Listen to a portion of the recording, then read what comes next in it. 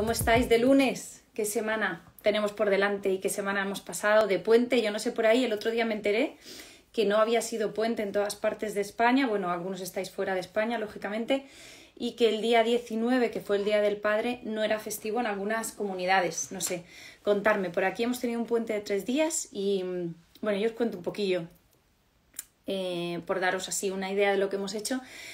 El año pasado por estas fechas estábamos confinados y uno de mis hijos, en este caso el mediano, cumplió años, que nació el día de la primavera, el 21 de marzo, y cumplió años en la intimidad con la familia. La verdad es que eh, yo, yo, no sé si hay por aquí algún mediano que pueda levantar la mano y que nos cuente si los medianos tendéis a ser de adultos personas cariñosas, muy complacientes, que tendéis a, mirar por los demás antes que por vosotros mismos. No sé, este es el caso de mi mediano. Mi mediano es, como yo digo, un corazón con patas, porque cuando quiere algo siempre dice, pero ¿y mis otros hermanos? Pero ¿y tú? O sea, siempre como que tiene en cuenta a los demás. También es verdad que tiene un genio y un carácter importante, pero bueno, esto que lo cuente un día que no está delante y tampoco está bien hablar de la gente que no está delante. El caso es que el año pasado dijo que su cumpleaños había sido el mejor cumpleaños del mundo porque estaba en familia.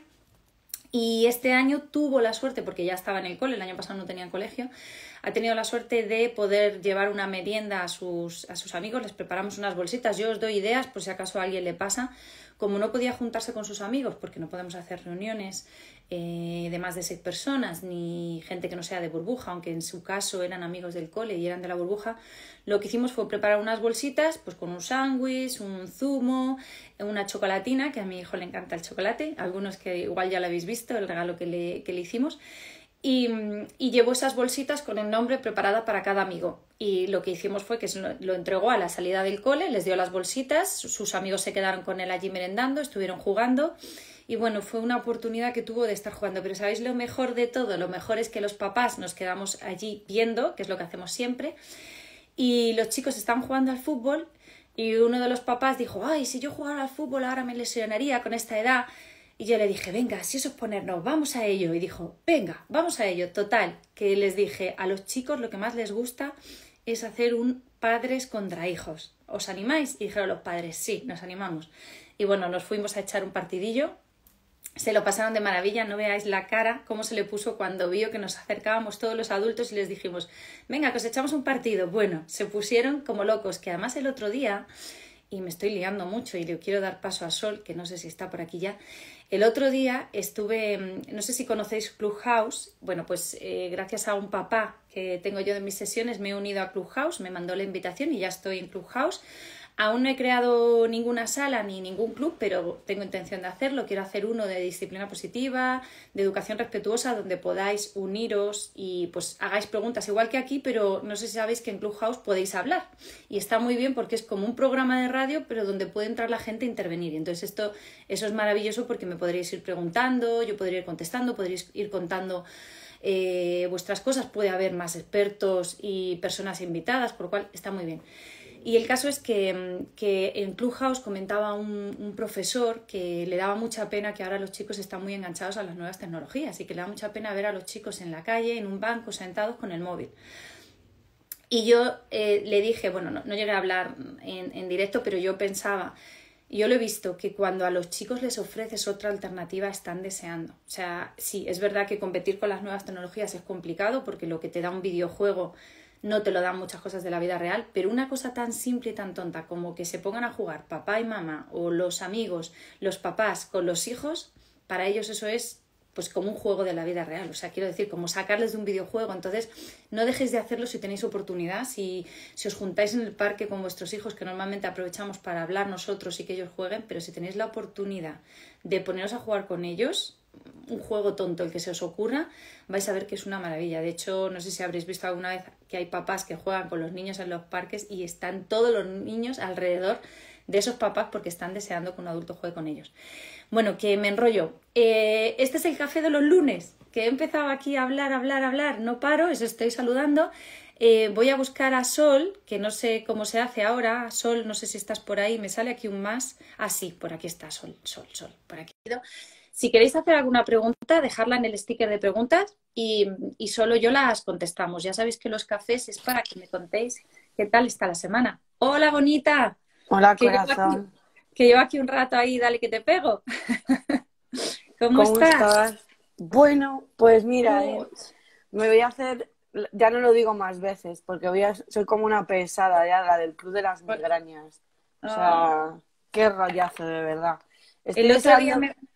que entre la primavera ya, de verdad, y, y porque he descubierto, he descubierto que dicen que los cambios de tiempo eh, afectan también a esto. Entonces, pues bueno, pues hoy eh, he empezado el lunes de estos que dices, joder, ¿cómo va a acabar? Porque mira, no lleva todavía los niños al cole, porque estaba Anda. En pleno ataque de, de migraña a lo bestia. Eh, tenía el directo y como me he encontrado un poco bien, he dicho, mira, Bueno. haz el directo, ellos están esperando, lo llevas al cole y ya está. Ay, Pero hoy es el, tip- el- el típico día este que te sientes súper buena madre, ¿sabes? Pero porque están en casa, quieres decir, que es lo que ellos quieren, Claro. ¿no? No, no, no, no, ¿No? súper buena madre porque dices, o sea, ha empezado, lo he hecho todo mal ya, o sea, ¿Ah, sí? de empezar. Sí, claro, acaba de empezar y ya la ha liado, pero bueno, que... Fíjate que, mi- mira, mi, mi hijo estaba contando que ha sido el cumpleaños de mi hijo, el mediano, y el otro día me pidió no ir al cole el lunes. Y mi marido lo ha levantado y lo ha llevado al cole, no quería ir. Y me dice mi marido, ¿pero por qué no quiere ir? Digo, pues porque hay niños que el día después de su cumple están deseando llegar al colegio, contar lo que le han regalado, lo que han hecho, pero hay otros niños que no, que disfrutan más quedándose en su casa, disfrutando de sus regalos, de sus juguetes o tranquilamente. Y ese es el caso de mi hijo. Y claro, ahí nosotros hemos sido malos padres porque le hemos llevado al cole.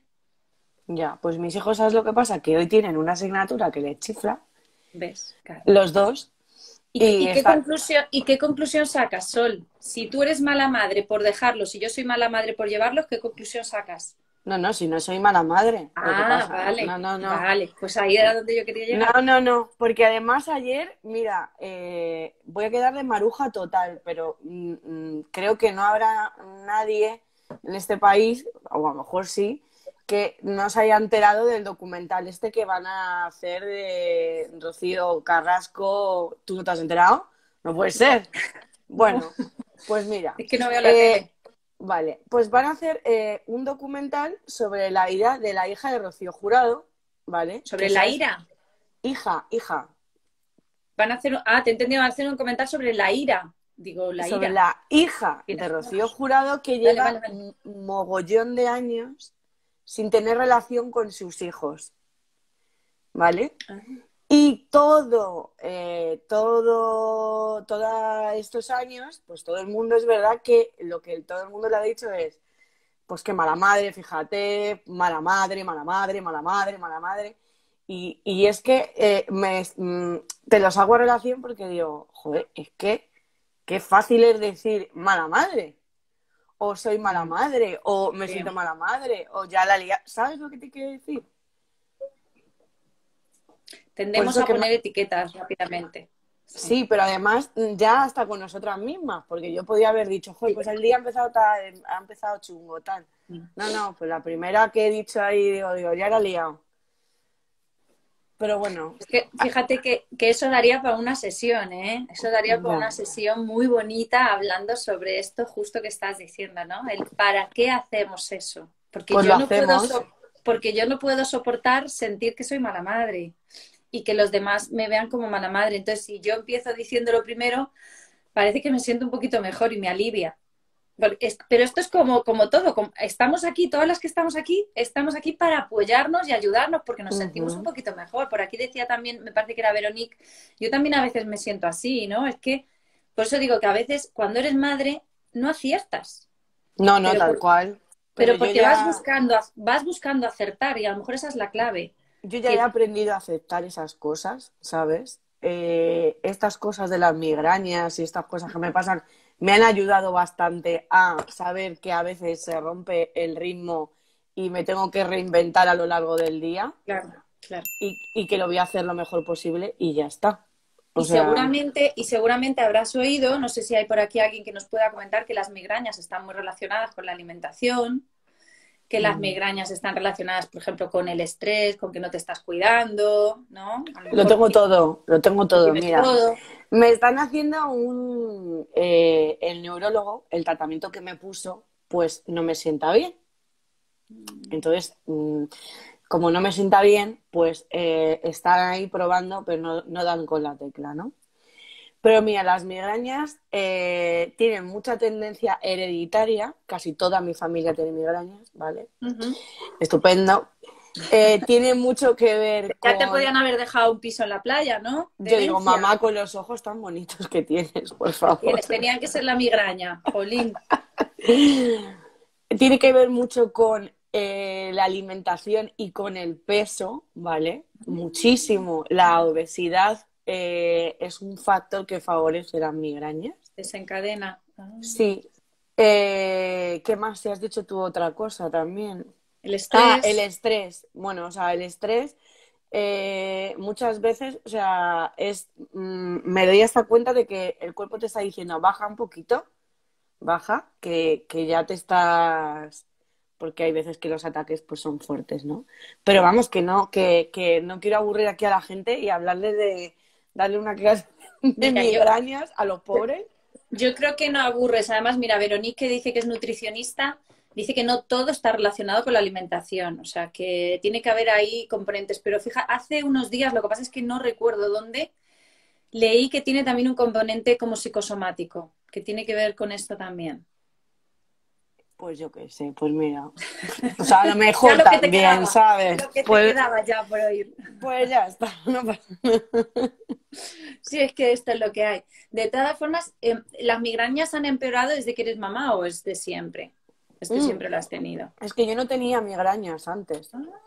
No, no, no, no. Eh, ha sido a raíz de tener eh, a Nora un año después, más o menos. No, no las tenía. Yo yo personalmente, yo las achaco mucho a, mm, a la obesidad. Yo, ¿vale? Porque he experimentado en mi propio cuerpo que a medida que eh, he aumentado de peso, me he ido encontrando peor, las he tenido más, eh, duermes peor, eh, estás más cansada. O sea, yo, yo si a mí si me tuviera que hacer como una evaluación, lo, achacaría más a eso y quizás al componente un poco genético, porque, por ejemplo, mi hijo las tiene, es pequeño y, es un espagueti. ¿Sabes lo que te quiero decir? Pero yo anoche me derrumbé, no era capaz de dormir a mi hijo de dos años. ¿De, dos? Ah, ah pero aquí fue papá y en cinco minutos se durmió. Pues la vida es pues, así. la vida es así. Además. a, mí, me pasó, además recuerdo cuando acababa de tener al mayor, que no, no, había manera de dormirle. Yo, mi marido se iba a trabajar y yo me quedaba con el bebé llorando. Y yo decía, ¿y tú te vas? Y yo me quedo aquí sola con él. No había dormido toda la noche. Además, mis bebés han sido de estos de, de no duermo por la noche me despierto mucho. Entonces yo decía, bueno, esos que me, es que esos que quieren estar mucho con mamá. Voy a tomármelo por ahí, por ese lado, ¿no? Me quieren mucho, me quieren mucho. Y recuerdo que bajé a la calle con el bebé porque no había manera de dormirlo y me vio una vecina y dijo, a ver, déjamelo. Y se durmió con ella. Y yo dije, será bicho, será bicho este niño. Y yo decía, ¿será que es más mullido el pecho? Yo casi no tengo pecho. Más mullido el pecho de la vecina, que está pues más a gusto. Que, tu vecina estaba más pues tranquila que tú, estaba estupenda. Y tú, y, tú ya estabas como una moto, como es normal, claro. Como es normal. Porque es que a mí eso, también me ha pasado, ¿eh? O sea, que te entiendo.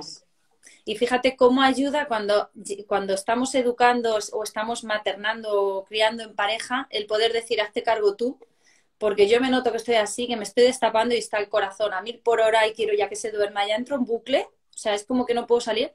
Y si llega alguien más calmado, es que cambia el panorama así en segundos. Lo que ha dicho ella, ¿no? En cinco minutos se había quedado dormido. Pero a veces nos enconamos con el, no, lo tengo que hacer yo, lo hago yo, tú no te metas, yo, yo lo hago porque lo tiene que hacer, porque tiene que ser, porque tiene que recogerse, tiene que bañar. Salte, salte, respira, vete, mira por la ventana.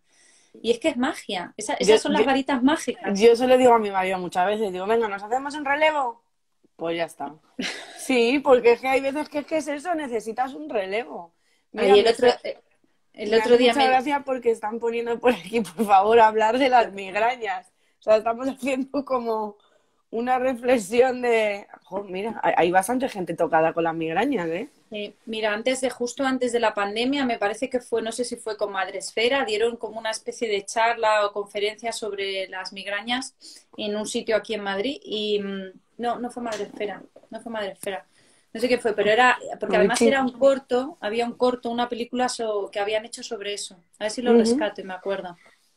Es que, claro, ¿qué, qué nos- qué queréis que hablemos de las migrañas? Yo os puedo contar poco, porque yo no tengo. Alguna vez he tenido un dolor de cabeza de estos grandes y lo que he hecho, yo no sé tú, yo lo que he hecho es bajar las persianas, apagar la luz y tumbarme. ¿No? De esto de además, no sé si a ti te dan como chiribitas en los ojos, a mí es que me dan como, como no- si hubiera calambre, como si tuviera calambres. Normalmente a mí la migraña, eh, el dolor empieza en el ojo y va del ojo hacia, hacia la cabeza. Eh, Pero, y pero dolor, ¿es dolor o es lo que te digo? ¿Es como que ves como tienes destellos y no, no, raras, es, no? es dolor. Lo que pasa que cuando ya llevas mucho rato con los ojos cerrados, te puede pasar esas cosas de producir destellos y esas cosas, ¿no? A ver, cuando ya tienes un ataque descontrolado, como digo yo, que ya mm, si lo mm, percibes a tiempo y te tomas eh, una medicación, eh, normalmente lo cortas. ¿Qué es lo que me está pasando a mí eh, últimamente? Que me levanto con el dolor. O sea, estoy dormida y me despierta el dolor. Eso quiere decir que ya lo tengo ahí como eh, el ataque muy cogido. ¿no? Claro. Entonces, cuando ya te, cuando ya lo tienes ahí, eh, cuesta mucho eh, quitarlo. Y efectivamente es de tomarte una pastilla, ponerte a oscuras, ni un solo ruido. Yo a veces me, me pongo así un peso, pero, o sea, son horas. A veces eh, he estado ya esta última semana enganchaba una con otra, una con otra, una con otra, una con otra.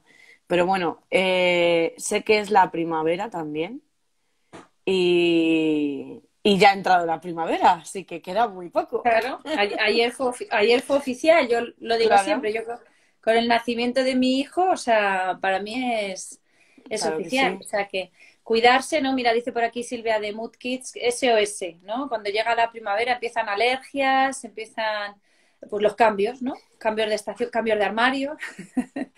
Pero es una época lo- que a mí me gusta mucho. a que te pongas lo que te pongas no vas a acertar, o sea que eso es así, Mm. o vas a pasar frío o vas a pasar calor. Esto es así, es, es no luchar contra lo que no podemos controlar, si es que al final parece que nos, Claro que sí. nos esforzamos en querer controlar lo que no se puede y todo no es controlable. Mira, por aquí dicen nada de tomar alimentos procesados y azúcar, que ese es el alimento perfecto para las migrañas. Yo recuerdo un, un- un papá que me decía eso, que había, había quitado todos los azúcares y, y desde en entonces ya no tenía, no tenía migrañas. El azúcar no. Yo no soy azucarera, ¿eh? Pero el azúcar no es buen amigo de mi casa. De hecho, si no, preguntárselo a mis hijos. Porque ahí hay como una pequeña guerra, ¿no? sobre el consumo. Sí, sí, sobre el consumo del azúcar. Pero. Pero bueno, que todo tiene solución y además estamos en ello. Y esto de la obesidad pronto tendrá una solución estupenda. Así que. Nada, no, no, no os preocupéis, de verdad, voy a dejarlo de la migraña porque me siento hasta mal, porque parece que he venido a hablar, hacer un monólogo de las Pero- migrañas. No, pero fíjate que la, la idea del café es un poco hablar de cómo estamos, de cómo hemos acabado la semana, cómo la vamos a afrontar y un poco el, el día a día que vivimos, porque al final, y es un poco lo que están comentando por aquí, que hay muchas cosas que no se ven, que no dan la cara, ¿no? Incluso que eh, si nos metemos en, en la maternidad, el ser madre es un mundo, ¿no? Y no sabemos cómo nos revoluciona a todos los niveles. En este caso, a nivel corporal porque parimos, llevamos un bebé dentro, pero luego a nivel hormonal, a nivel de estado de ánimo, o sea, afecta muchísimo, ¿no? Y esto influye mucho en cómo eduquemos luego a nuestros hijos, porque si yo me siento bien conmigo misma, voy a poder educar mejor. Es fundamental. Si me siento mal, claro, es lo que tú, fíjate tu exigencia, ¿no? Si estoy con esta migraña y tengo que hacer, no, los tengo y los debería. Con cómo me siento, cómo conjugo yo eso, ¿no? O sea, cómo concilio también cómo estoy yo con, con mis hijos. Me has dado el chute de energía porque ahora me siento mucho mejor con la decisión que he tomado y lo estoy haciendo estupendamente. Pon una Claro, diana y- en tu vida. No, con un café de los lunes, que la idea Bueno, es eso, eso- que, eso también. un café de los lunes y estemos mejor. ¿Qué, qué desayunas o no desayunas nada cuando estás así?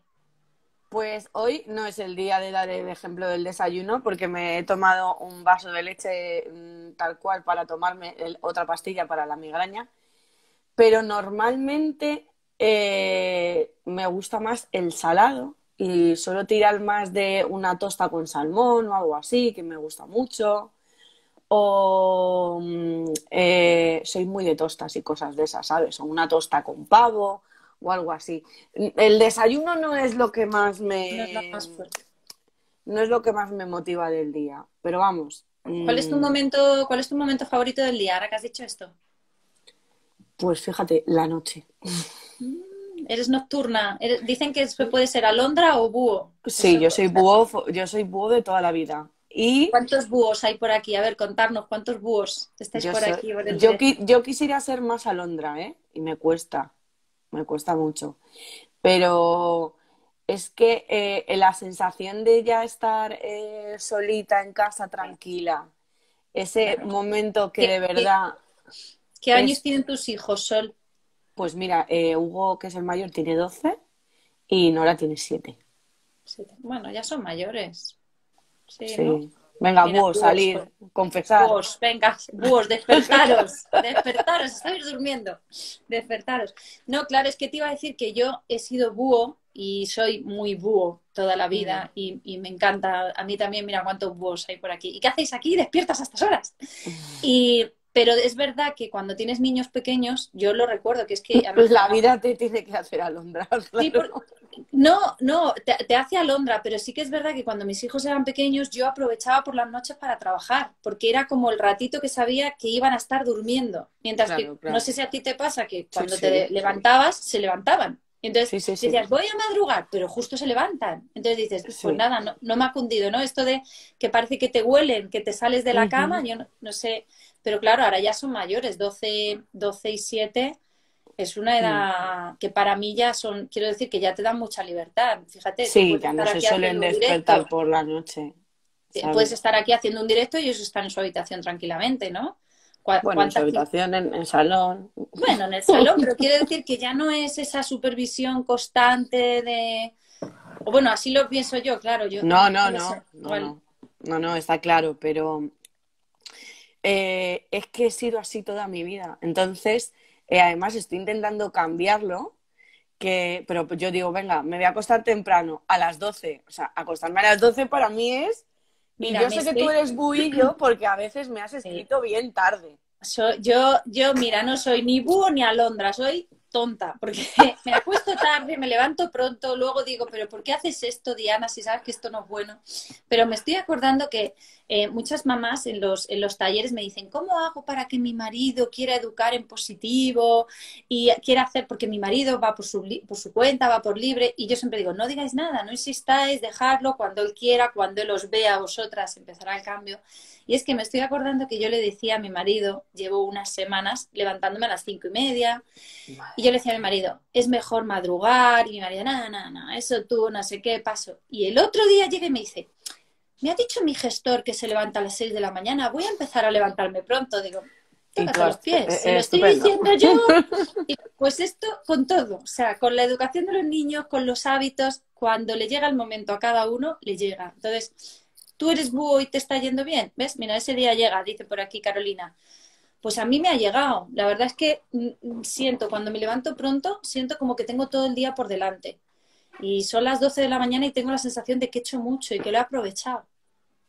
Entonces me siento Sí. mejor. Yo estoy en ese proceso, ¿eh? Además, eh, yo me suelo levantar sobre las siete y media y mi idea es eh, pues intentar levantarme a las seis y media, por lo menos como una hora antes, para cubrir más eh, mi parte personal y tener ya un poco... Ya sabes, Sol, que va a haber una época en la que te va a pasar lo que, lo que hice yo en el reel del otro día, ¿no? Que te vas a poner a las cinco y media, lo vas a apagar, lo vas a poner a las seis y media, lo vas Hombre. a apagar, lo vas a... Lo has visto, ¿no? Sí, sí, Y- pero es que eso lo hago yo. Yo, te- yo tengo una alarma a las hay 25 para pararla. Hay media y al final me levanto a menos 25, ¿sabes? Ah, hay, hay, hay, un chiste de uno que hacía eso, ¿no? Que se levantaba a las 3 de la tarde y dice, ostras, casi se me pasa la hora de la siesta. Pues algo Pues- así, ¿no? Pues sí, pues casi Vas sí. enlazando, enlazando horas de dormir y dices, oye, que se me pasa la hora de la siesta. Bueno, que entonces, ¿cómo se presenta la semana? Bueno, pues mira, eh, tengo que hacer muchas cosas. Qué ¿Tienes raro. proyectos? ¿Tienes proyectos entre manos? Pues sí, ahí hay un par de directos que tienen que salir este viernes. Tengo muchas ganas de hacer uno y espero que, que salga. Tengo, esto no lo enseño, ¿vale? Porque lo que se ve por aquí detrás está muy bien, pero si vierais esto dirías, esta mujer tiene un programa muy serio. Porque tengo como tres propuestas a la vez entre, de, de, de cosas. Entonces esto está lleno de acrílico, de arroces, de... Ah, bueno, bueno. Sí, sí, sí, sí. Eh, tengo que hacer, va a haber otra edición de, una nueva edición del libro. Estoy haciendo el recuento de lo que me queda, la ¿Pero de este? ¿De este Sí. ya? Sí, Ya. sí, sí, sí, sí. Pero Sol, por favor, Sí, ¿me sí, estás sí. diciendo en serio? Sí, hombre, a ver, no sé de cuánto sería la tirada que han hecho, no sé cómo funciona, ¿no? Pero de la tirada que hicimos, pues sí, hay que, Ya hay se han que, hombre, queda alguno, pero tenemos que hacerla porque si no nos vamos a quedar. Entonces yo estoy aquí, con los últimos que me quedan aquí, los que hay que mandar a la... Bueno, desde luego te lo digo, que sí, hay, hay veces que no sé si te pasa a ti que te dicen, qué organizada eres, cómo me gustaría ser como tú, y yo digo, madre mía, no sé lo que está diciendo. Sí, Ay, sí, sí. A, a mí, a mí cuando me dicen, te quiero adoptar, digo, sí, sí, sí, para un ratito, para un café, seguro. No, pero yo te para adoptaría, ¿eh? Yo te adoptaría. O sea, te lo digo de verdad. Que levante la mano. O sea, Pa- todo el pa un ratito. Pa un ratito, para un ratito. Esto, además lo de Instagram es muy feo, ¿eh? Porque la gente solo muestra lo bonito. Entonces no muestra la ropa. Hoy no, no tengo aquí ropa, pero yo a veces tengo, a veces, siempre, ahora mismo tengo tres lavadoras puestas. O sea, quiero decir, ha terminado una, ha entrado mi marido por la puerta y ha dicho, tiende, gracias. Digo, ¿cómo que tiende? Además lo dice todo junto, tiende, gracias. Ya no me da opción a que diga, no tiende tú. No tiende, gracias.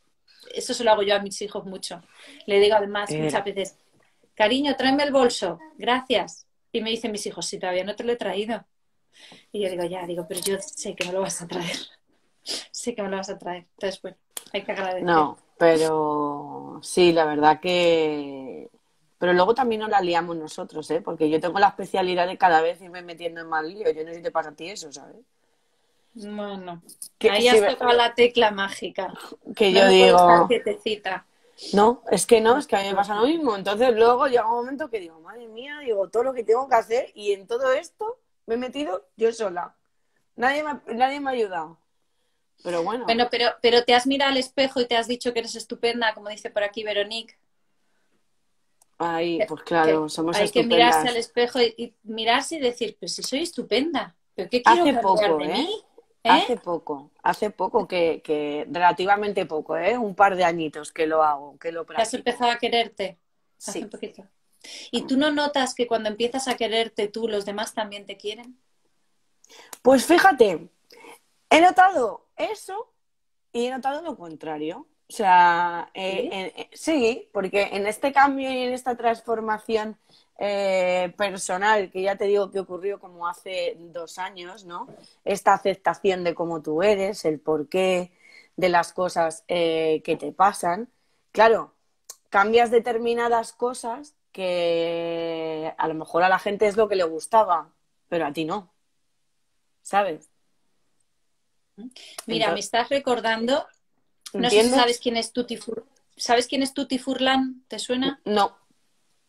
¿No? Bueno, No. pues esta, ya os hago un adelanto en primicia. Esta, en primicia esta semana voy a tener un directo con Tutti Furlan y para mí es, bueno, yo la verdad que me encanta. Es una mujer que para mí es inspiración. Bueno, pues justo acaba de subir un, en su Instagram hablando sobre esto precisamente. No le puedes gustar a todo el mundo. Claro. No le puede gustar a todo el mundo, pero incluso siendo la peor persona del mundo, va a haber gente a quien le gustes, siendo la perso- peor persona del mundo. Sí, sí, sí, Y va a haber a quien no le guste, o sea, que no depende de ti, o sea, es decir, depende de los demás. Tú tienes como actitud que ser tú misma. Está claro. Yo lo que pasa es que me costó, ¿eh? Te digo, me costó, porque em, eh, cuando digamos que, yo no sé si te habrá pasado a ti, ¿no? Pero llegas a ese momento que dices, eh, tocas fondo, ¿no? Para luego empezar a... con impulso. ¿Vale? A florecer, ¿no? Mm. Bueno, pues yo toqué fondo y ya que toqué fondo dije, pues voy a empezar a construirme, pero a construirme eh, sobre bases eh, sólidas y, verdaderas, ¿no? Entonces, perdí a un montón de gente por el camino, a muchísima, a gente con la que no contaba perder. Pero sin embargo. Pero, pero puede ser sol porque tú recuerdas el camaleón, el camaleón, el león, la tortuga. Sí, sí, sí, recuerdo. ¿Te acuerdas? Vale. Tú puede ser que las personas camaleones, complacientes, en cuanto empiezan a decir que no, hay gente que se va. Yo porque ya no les gusta. Yo soy esa. Yo era una persona que temía, o sea, al conflicto, o sea, evitaba cualquier tipo de conflicto. Eh, es verdad que siempre me ha gustado muchísimo ayudar a los demás. Esto me sigue, es una cosa que me sigue pasando y me hace sentir muy bien, ¿no? Entonces, claro, mientras yo eh, estaba al pie del cañón, tal, tal, qué buena eres, que es que eres maravillosa, soltar. Y cuando no pude, patadita en el culo, ¿sabes? Pero es verdad que se, fueron, se fueron muchos, pero han venido mm, otros maravillosos y otras personas pues estupendas. Y, decirte que quedaron, ¿quién se quedó? Pues se quedó la gente de verdad, claro, la gente que se tenía que quedar. Lo que pasa que en ese momento cuando te pasa duele, ¿eh? Me refiero. Pero fíjate, esto es como le va a pasar a tus hijos cuando sean adolescentes y tengan un grupo de Instagram, un grupo de WhatsApp un grupo de Twenty y tengan 200 personas y te digan, son mis amigos. Y le digas, realmente esos 200 no son tus amigos. Y se van a quedar los que se tienen que quedar. Es una manera de poder discriminar, de que, muchas veces pensamos que por tener mucho alrededor estamos muy bien acompañados. Y no es, la, no es la cantidad sino que esté el que tenga que estar. Efectivamente. Lo que pasa que es lo que te digo, eh, en ese momento, que no es tu mejor momento, ¿vale? Duele. Pero eh, echando la vista atrás, dices, jo, qué necesario, ¿no? Eso es una cosa que yo le recomendaría siempre a todo el mundo, ¿no? Espero que no tengan que llegar a ese momento de decir, he tocado fondo, ¿vale? Tocado fondo. No hace falta, ¿no? Pero el, tener un momento en la vida donde puedas parar, pero parar de verdad, ¿vale? Parar, reflexionar, eh, ver qué te pasa por la cabeza, saber realmente cómo te sientes, ¿sabes? Hacer como una especie de escáner corporal, ¿no? De, qué es lo que está pasando eh, con tu cuerpo, qué quieres, te gusta lo que haces, cómo lo haces, o sea, dedicarte un algo a ti que yo eh, pude hacerlo y realmente gracias a que lo hice, pues he hecho muchísimas cosas que jamás pensaba que, que, haría, por ejemplo, como el hecho de estar aquí en Instagram hablando contigo cuando tartamudeaba cada vez que hablaba en público, tal cual te lo digo, o sea, era incapaz, o sea, de tener que tomarme un lexatín si tenía que exponer o algo en el trabajo, eh, el hecho de lanzarme a escribir mi libro, o sea, no sé, un montón de cosas que, que que ni siquiera se te pasan por la cabeza, pero porque, porque no, mm, ahora me conozco, ¿sabes? De verdad. ¿Qué, qué, dirías ahora que tú eres tu yo del futuro? ¿Qué le dirías a tu yo del pasado? ¿Qué le contarías a esa sol del pasado? Pues fíjate, mm, que, lo hice bien, ¿sabes? Que, que, fui muy, que fui muy buena y que tuvo que pasar lo que tuvo que pasar para darme cuenta y ya está. O sea, no. O sea, que la moraleja es, estamos como estamos ahora. No perdamos tiempo pensando en yo debería, yo tendría, sino ahora es como estoy. ¿No? Si puedo parar, paro y reflexiono, pero dejo de machacarme, de decir tendría que hacerlo mejor, sino esto también es una oportunidad de algo, ¿no? También es un aprendizaje. Además es que se lo recomiendo lo que te digo, digo, porque yo creo que hay gente que pasa por su vida, por su vida entera, y no ha hecho este ejercicio eh, durante toda su vida, ni se plantea cosas. Y, el problema es que llegamos a ser madres sin haberlo hecho. Y cuando mm. estás en el camino de ser madre, te, encima te dejas para lo último y ya sí que mm. parece que no tienes tiempo. Ya no, yo, ¿cuántas madres dicen, ahora me voy a parar a, pensar sobre mí? No, es como, ¿qué necesita mi niño? ¿Qué le tengo que preparar? ¿Qué tengo que hacer para no sé qué, para mañana? Y es como todo fuera, todo fuera. ¿Y yo? ¿Dónde quedo? Mira, por aquí tienes a, a, mi prima que es esta que pone su apillo, a que pone doy fe. Qué graciosa. Ah. Doy fe. yoga. Doy fe, doy fe. Vamos con el piloto automático. Efectivamente, vamos con el piloto automático. Y como digo yo, así es que vamos en modo supervivencia. Y, y está muy bien, pero no lo estamos disfrutando. Y nos está pasando factura. Y al mm. final el cuerpo pega el grito, como en este caso de la migraña, y dice, o paras tú o te paro. Punto. Te paro. Además, que sí, ¿eh? Además que sí. Vamos a escuchar al cuerpo.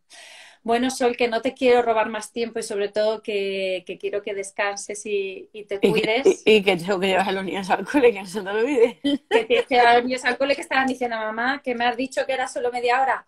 Ya han entrado, dos veces. ¿eh? Han entrado dos veces. Dale las gracias, dale la, dale las gracias a Hugo y a Nora de mi parte por haber dejado que mamá pudiera tener este ratito. Yo se lo digo. Y que afrontes la semana con muchísima energía. Y si puedes, veas el directo de Tuti, a ver si te gusta. Luego, luego seguro, seguro que sí. Vale, cariño, que cualquier cosa. Me estoy terminando el libro, estoy enganchadísima. O sea, enganchadísimo. ¿Quién muere? ¿Quién muere al final? No nos digas quién no, muere. No, no, no, pero tengo unas ganas ya de terminarlo porque además le he dicho a mi marido yo, cariño, mira el librito que te vas a leer. Así que. Ya, déjame, déjame, déjame.